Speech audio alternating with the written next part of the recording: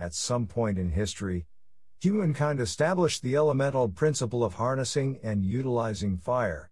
This, many historians suggest, was the moment of transition from primitive to modern man. At the instant that this tool became manageable by a human hand, a world of possibilities was opened up. From the simplest of functions, like heating and cooking, to the complex construction of the machines that drove the Industrial Revolution, it was all suddenly within the curve of human innovation. From this flowed the extraordinary creativity that characterizes our species, a solution to every problem, a tool for every purpose. Number 1. Metallurgy, the basis of every tool and every weapon. The control and use of fire set in motion a massive acceleration of human creativity, both constructive and destructive. The oldest evidence of metalworking can be dated to around 8,7000 BCE in the form of a cast copper pendant found in northern Iraq. Not all metals required heat to work, of course, since on occasions gold was, and still is found in workable nuggets. It is probably fair to say, however, that until smelting was perfected, the applied working of metal was impractical, if not impossible. That was the beginning, however, and from copper, metalworking technology passed through the Bronze Age, generally regarded as between 3300 to 1200 BCE, before the Iron Age. Once the ability to liberate iron from ore had been perfected, then an entire spectrum of tool and weapon making possibilities came into the frame, and life, technology and warfare as we know it began its evolution. Soon we were experimenting with different metal properties and creating everything from iron and steel components of early machinery to the complex componentry of electronics and communications. It probably would be fair to say that aside from the most elemental breakthroughs of fire, the wheel, and the plow, all of which could be made with wood, the separation of metal from ore was the first significant step in mankind's technological journey. Number 2. The nail, a simple little device that holds the whole edifice together. Who first thought of it? Most references will tell you that the nail evolved in three phases a hand drawn object of prehistory, a cut nail, which was the first system of manufacturing nail, which dates it to the early Industrial Revolution, and the wire nail, which is what we think of as a nail today. As with so many construction technologies, the nail first surfaces in history in ancient Egypt, where it facilitated the extraordinary architecture of that society. The Roman Empire, however, was also held together by nails, and quite a considerable tonnage of Roman nails have been unearthed, and in fact, Roman nails are today the most widely accessible and affordable authentic Roman artifact. Besides that, nails, standardized and portable, have at times in history been a medium of exchange, and in the Christian world, the symbolism of a Roman nail is integral to that of the cross. The name nailer or nailer comes from the ancient craft of nail making. In early American house construction, at a time when England was the leading manufacturer, nails were so valuable that a house was typically burned down when abandoned so that the nails could be collected and reused. Nails are still ubiquitous today, and all in all, we owe a lot to the nail, so it ranks high on the list of humankind's engineering achievements. Number 15. The printing press, making possible the archiving of technological knowledge. Yes, indeed, it is one thing to have an idea, but another to pass that idea on to the generations. For technology to advance, innovators of the future must be able to innovate by innovations of the past. In other words, in order not to have to rethink the same idea in every generation, information regarding the development of technology must be passed on. Oral tradition can achieve this in simple technologies, but the march of progress owes more than we probably appreciate to the humble printing press. The printing press, of course, debuted by Johannes Gutenberg in 1440, contributed much more than just developmental knowledge to the human experience, it was the beginning of the information age. For the first time, ideas could circulate without the necessity of the spoken or handwritten word. Ideas certainly did circulate, and most of those ideas tended to be political and religious, and the liberalization of the human mind and the human consciousness was the result. In fact, in the age of technology, There have been one or two great leaps forwards, and the advent of the printed word was certainly one of these. It was the trigger for perhaps the greatest explosion of human creativity that would follow. Number 4. The Archimedes screw, a simple and elegant way to lift water. Dropping a bucket in a well and hauling it up was the simple way of lifting and elevating water, and one or two ancient technologies helped here and there, but it was the advent of the Archimedes screw that truly revolutionized the business of moving water. The Greek mathematician Archimedes, whose name is attributed to the invention, was in fact not the inventor, but just the note taker. The technology was already in use in Egypt in the 3rd century BCE when Archimedes first recorded it, and it remains in common use today. The idea is elegantly simple a rotating screw contained in a tubular housing will raise any liquid or granular substance if the rotation is steady and reasonably fast. The Archimedes screw is still the basis of most pump technology today, and in any grain silo, it is that Archimedes screw that keeps the wheat moving. The concept can be found in just about every industry where a commodity is moved, and it does not look like it is about to be phased out. Number 5. Optical lenses, opening a world of invisible possibilities. The Archimedes screw is an example of complex engineering insofar as it required some design and construction skill to devise a working model. Human creativity and ingenuity really entered a stratospheric level when man began to tinker with devices and materials, exploring the laws of physics, and creating engineering formulas around those laws. The Antikythera mechanism proved that ancient Greeks were already pondering gears and levers, and correlating them to the observable celestial movements. Glass technology goes back to the use of obsidian as a tool making material, but glass manufacturer, its origins again lost in history, was one of those formative processes coalescing as the Industrial Revolution loomed. It is hard to imagine modern life and technology without glass, and certainly the science of optics would be stillborn. Optics began, of course, with an appreciation of the refractive qualities of glass, which led to the development of the eyeglass, and soon the microscope, the camera, and the telescope. The word lens comes from the shape of a lentil, and the earliest mention of the principle can be found in Old Greek texts, although the technology developed along a much broader front. Most importantly, though, optics meant the extended viability of individual scholarship, and so as the march of the information age gathered strength, optical lenses certainly sharpened the edges and made it all readable. Number 6. The chronograph, a combination of artistry, engineering, and science. What came first, the hour or the hour hand? At the basis of some of the most elemental advances in technology lies time, the division of time, and the rhythm of time. It is often said that the most influential development of human technology was the sail, but this could only be in combination with practical navigation, itself only viable only by an understanding of astronomy. Indeed, the first modern chronograph was invented by French Louis Moinet in 1816, exclusively to work with astronomical equipment. The chronograph is specifically the type of timepiece utilizing the sequenced rotations of three arms, defining a minute, an hour, and 12 hours. A high degree of accuracy and prowess in fabrication is required, and this marked a point when engineering almost began to overlap into art. There certainly is something beautiful about the innards of a well constructed clock, and the tools required to make it. It marks the acme of man's understanding of the properties of the physical world, and the pinnacle of manufacturing technology in the age before electronics. Number 7. The sextant, the instrument that mapped the world. The great enigma of technology and engineering is the serendipitous way certain threads of thought and development have coalesced, almost by accident, into ever changing innovations. The sextant is, in fact, a straightforward device designed to measure the angle of a particular star from a fixed point at a specific time. Notwithstanding that a reliably accurate chronograph must be available to know that time, thousands of years of astrological observation were required, so that astrological charts could be prepared to display that necessary information upon which it was all based.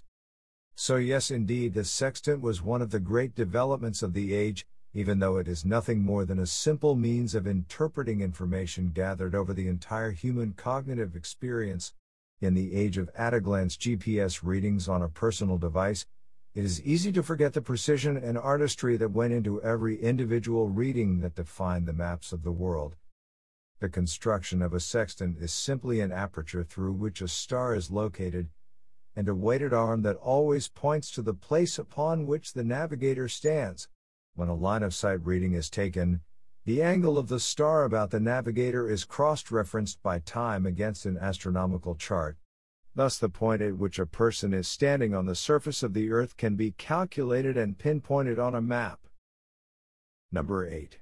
Modern sanitation, a case of the solution catching up with the problem. It is so easy to take for granted the simple convenience of flushing, and gone in an instant is that inconvenient byproduct of metabolism. It passes through a system, and by application of technology it is sanitized and returned to the environment at no inconvenience to the producer. However, as modern cities began to develop, it seems that no one gave any thought at all to something as fundamental as waste. Most European cities were built around major rivers, but very quickly the limitations of a river like the Seine, the Rhine, or the Thames to deal with the waste of an entire city became clear we are also not just talking about human waste, but vast amounts of animal and production waste. With no formal system of waste management, it would not take long. But as with everything we have touched on in this list, it was necessary first for sanitation as a holistic, urban concept to take root before the infrastructure of a city could be designed around it. Functioning sewers, in other words, Often these advances have come about thanks to some great disaster like the Great Fire of London, although, in fact, it was the big stink of 1858 that really got London's city fathers thinking. That year witnessed one of the great heat waves of the age, and in a city drowning in human, animal, and industrial waste, the stench reached a critical level. It is hard to imagine that the human species, so endlessly creative, would not have at some point devised a solution to this real effect of urbanization, but it certainly was an odorous journey to get there. Number 9. Getting to grips with steam power and changing the world. What came first, the steam or the steam engine? Of course, what I am saying is that without a means of generating steam and an understanding of atmospheric pressure, the whole chain of events that saw the first successful rotation of a steam piston would never have come about. In fact, the first use of steam as a power source, or as a means to provoke movement, predates Newcomen atmospheric engine by millennia. It was only with Thomas Newcomen's steam piston engine, test run in 1712, that a viable power source for industrial use was on the table. It was that moment that witnessed the commencement of the Industrial Revolution, Probably the original great leap forward. Suddenly accumulated technologies from ages past were revitalized, revisited, and reevaluated. Initially, these engines were used only to pump water out of mines, and hundreds were built as standalone machines in the early decades of the 18th century. The design was improved upon by the Scottish engineer and inventor James Watts, and it was this that in the end provided the efficiency and standardization necessary to develop industrial production. Within a few generations, commercial sale was a thing of the past, and before long, cottage industry was a fringe activity. There was the beginning of the consumer age, the wage economy, and the welfare state, in fact, everything we live with and love today. Number 10 agricultural mechanization, releasing the slaves and revolutionizing production. Perhaps one of the greatest benefits to mankind of the development of steam power was to make redundant the institution of slavery, paving the way for an abolitionist movement that certainly would have made no headway if there had been no alternative. Of course, mechanized agriculture preceded steam by centuries, and long before steam power, there was animal power, and even something as fundamental as a plow could be regarded as mechanization. Animal power, however, did drive early reaping and threshing machines, but these devices were engineered and came about more or less in parallel to steam, and horsepower was phased out very quickly. The adaptability of steam power in terms of machines to plant and reap and thresh far exceeded human or animal power, and the reliability and complexity of mechanisms have in the modern age almost entirely superseded the labor of man and beast. The most important result, however, has been a massive increase in agricultural production with a fraction of the labor input. Needless to say, this has helped drive the population explosion and to sustain a population that could never realistically exist under conditions of cottage industry. So we have it. Mechanized agriculture was undoubtedly one of the great engineering and technological advances of the age. Number 11. The cotton gin, the first phase of production manufacturing. When Eli Whitney devised a method of separating cotton seed from lint in 1793, one of the most labor intensive aspects of cotton production was mechanized, and an industry was revolutionized. A cotton gin is merely a device that uses hooks to drag raw cotton through a series of mesh screens to separate lint from seed. Before this, the process was undertaken by hand, which, of course, was both labor and time intensive. The revolutionary effect of the cotton to gin was to massively increase the profitability of cotton, which resulted in a massive increase in acreage and a steep rise in the price of slaves. On the other side of the world, however, as the machine came into common use in industrial England, it had the same effect of hugely increasing cotton production in India, where the British Empire sourced most of its cotton. By the beginning of the 19th century, mechanized cotton production was feeding into mechanized weaving, the whole business of cloth production revolutionized the industry, but also industry in general, and it would probably be fair to say that the conversion of cotton into linen was the first intensively mechanized production system of the Industrial Revolution. Number 12.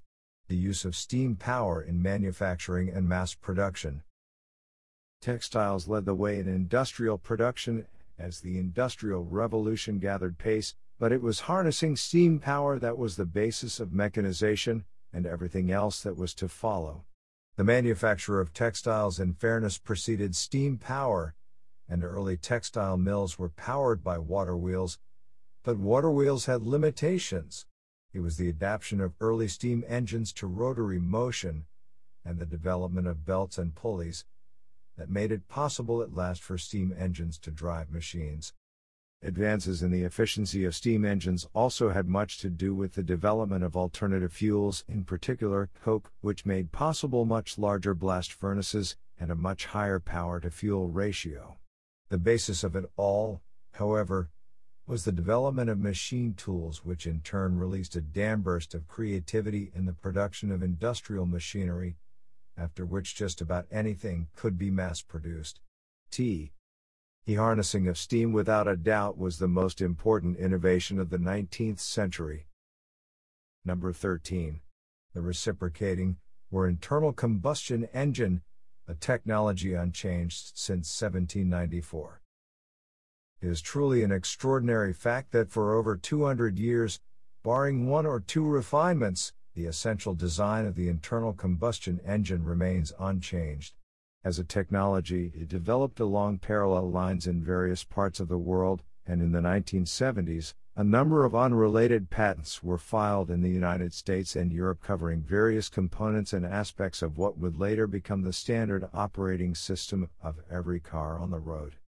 The first fully functioning and practical liquid fuel engine was patented by Italian engineer Eugenio Barsanti in 1853, Others, of course, were quick to follow, and the first gasoline engine to be produced in the United States was in 1872 by George Brayton.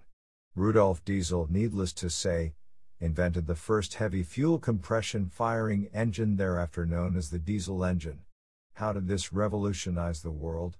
Well, one need only imagine how many horses and much horse poop we would be dealing with if someone had not thought to replace the horse with horsepower.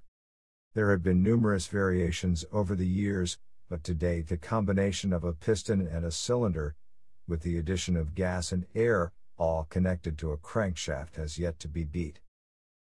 Number 14. Electrification, and everything that came with it.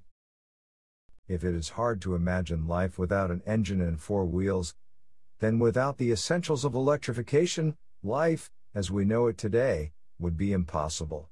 From the moment that mankind gazed up in wonder at the extraordinary spectacle of lighting, the phenomenon of electricity has been with us. The harnessing of fire was one thing, but controlling and harnessing power was one of the great achievements of humankind. Where did it begin? Well, according to Wikipedia, it started with the development of a practical electromagnetic generator, which occurred between 1831 and 1832, when British scientist Michael Faraday stumbled on the principle. However, many men of science were also actively experimenting with electricity, among them, of course, the great polymath Benjamin Franklin, the principle of electromagnetic generation came to be known as Faraday's law, and so Michael Faraday stands as the modern father of electrical generation. He also, of course, built the first practical electromagnetic generator known as the Faraday disk. From that point onward, a technological journey began to which hundreds of individuals contributed, a journey that continues to this day. The fundamentals of electromagnetic generation remain unchanged from Faraday times, and whether powered by steam, hydro, or nuclear, the principle is the same. What impact has electrification had on modern life? Well, in short, universal and absolute. Modern life would simply not be possible without it. Number 15.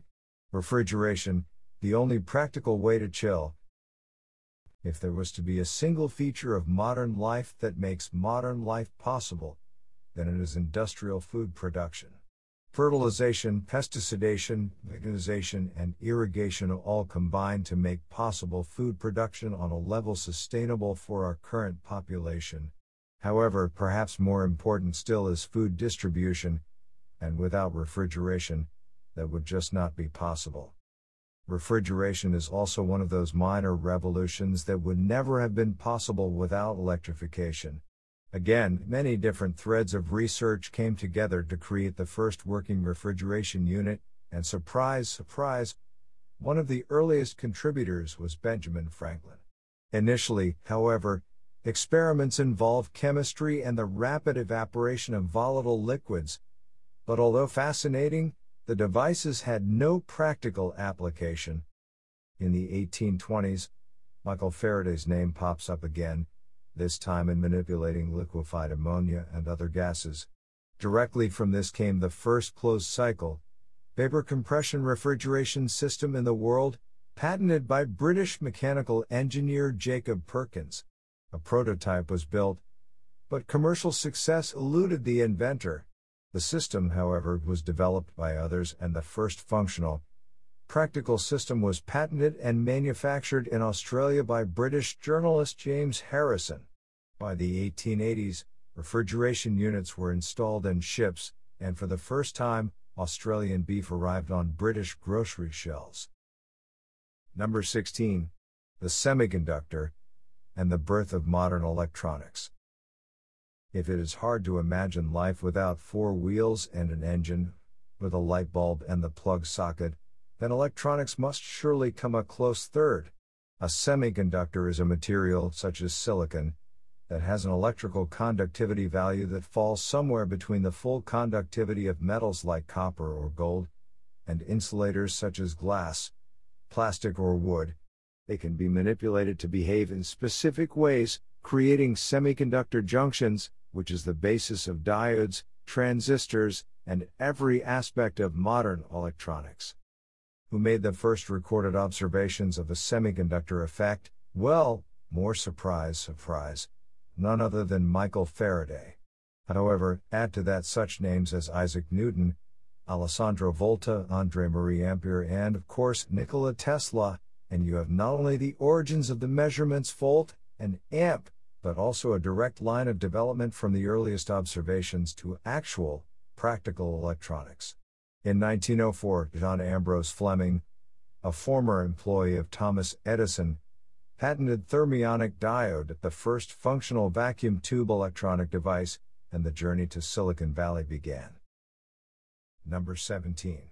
Telecommunications, the best possible use of electronics. The electromagnetic telegraph spelt the end of semaphore towers, smoke signals, and carrier pigeons. From the moment that Samuel Morse failed to test his electrical telegraph, but nonetheless devised the iconic Morse code, global communication has never been the same. Sending an electrical impulse down a copper line and forming it around a simple code of dots and dashes presaged the electronic age with uncanny accuracy. This binary system allowed for practical communication over long distances, and as such it revolutionized everything from warfare to travel.